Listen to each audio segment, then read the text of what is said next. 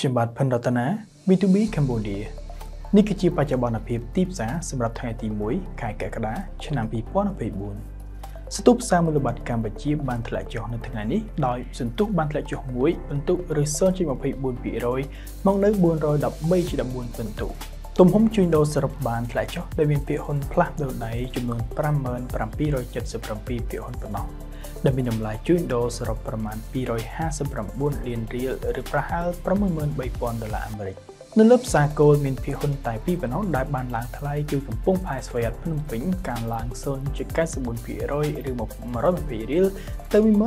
12900រៀលក្នុងមួយហ៊ុនខណៈក្រុមហ៊ុនតំបន់សេដ្ឋកិច្ចពិសេសភ្នំពេញកើនឡើង0.45%ឬ10រៀលដល់2220រៀលក្នុងមួយហ៊ុនចំណែកឯការធ្លាក់ចុះយើងឃើញថាក្រុមហ៊ុន Saikat បានធ្លាក់ចុះ0.41%ឬ10រៀលមក2440រៀលក្នុងមួយហ៊ុន គណៈធនាគារស៊ីលីដានិងកំពុងផែស្វយ័តក្រុងប៉ាសេលូបានធ្លាក់ចុះ20រៀលឬ0.26%និង16%រៀងគ្នាភាគហ៊ុនចំនួន4នៅលើផ្សារគោលនៅតែដដែលរួមមានក្រុមហ៊ុន Pestech Cambodia PLC ក្រុមហ៊ុន Meli Quick Education រដ្ឋកោទឹកសុយ័តក្រុងភ្នំពេញនិងក្រុមហ៊ុន Grand Twin International នៅលើតារាងផ្សារកំណើនយើងឃើញថាក្រុមហ៊ុនទាំងពីរមើលឃើញតម្លៃរបស់ខ្លួនធ្លាក់ចុះគឺមាន GS Land បានធ្លាក់ចុះ0.82%ឬ30រៀលមក3620រៀលក្នុងមួយហ៊ុននិងក្រុមហ៊ុន DBD Engineering ធ្លាក់ចុះ0.48%ឬ10រៀលមក2070រៀលក្នុងមួយហ៊ុនបរិមាណជួញដូរដែលនាំមុខគេនៅថ្ងៃនេះគឺធនាគារ Srida មានភាគហ៊ុនចំនួន13525បានផ្លាស់ប្ដូរដៃ ក្នុងតម្លៃសរុប102.5លានរៀលឬប្រហែល24950ដុល្លារអាមេរិកដែលស្មើនឹង26%នៃភាគហ៊ុនទាំងអស់ដែលត្រូវបានជួញដូរនៅថ្ងៃទី1ខែកក្កដានេះ សាយការជាក្រុមហ៊ុនដែលត្រូវបានជួញដូរទី2បន្ទាប់ដែលមានចំនួន22%នៃការជួញដូរទាំងអស់នៅលើផ្សារគោលនិងផ្សារកំណានរួមបញ្ចូលគ្នាជាមួយនឹងភាគហ៊ុនទាំងអស់ចំនួន11479ត្រូវបានជួញដូរក្នុងតម្លៃ28លានរៀលឬប្រហែល6820ដុល្លារអាមេរិក នៅក្នុងព័ត៌មានទីផ្សារផ្សេងទៀតវិញនៅថ្ងៃទី1ខែកក្កដាឆ្នាំ2024ក្រុមហ៊ុន Meili Quick Education បានទទួលកម្ចីចំនួន2លានដុល្លារអាមេរិកពីធនាគារវឌ្ឍនអាស៊ីចំកាត់ឬ ABA Bank ជាមួយនឹងរយៈពេលកម្ចី7ឆ្នាំពីឆ្នាំ2024ដល់ឆ្នាំ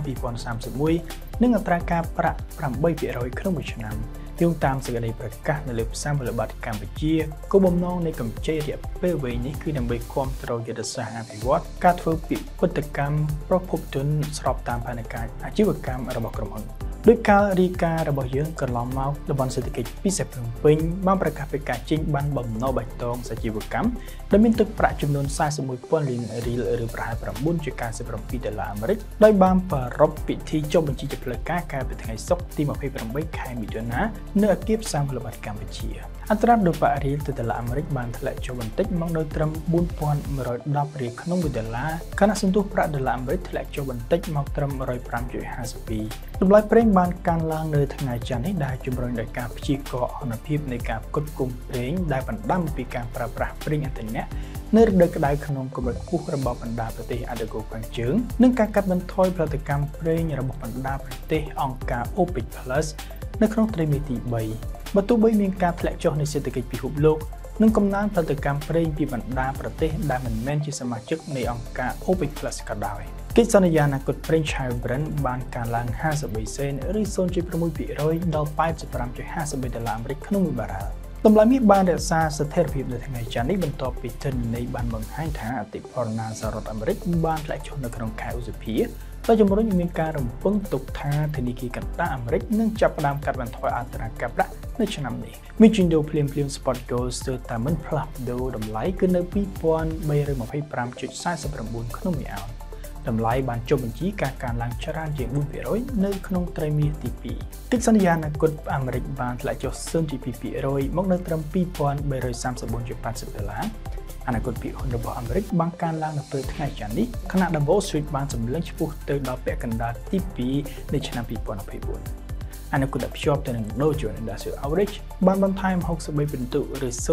0.12%ខណៈដែល S&P 500នៅពេលអនាគតបានកើនឡើង0.08%និងកិច្ចសន្យាអនាគតរបស់ Nasdaq 100បានកើនឡើង0.02%អរគុណសម្រាប់ការទស្សនា នេះគឺជាបច្ចុប្បន្នភាពទីផ្សារប្រចាំថ្ងៃរបស់ B2B Cambodia thank you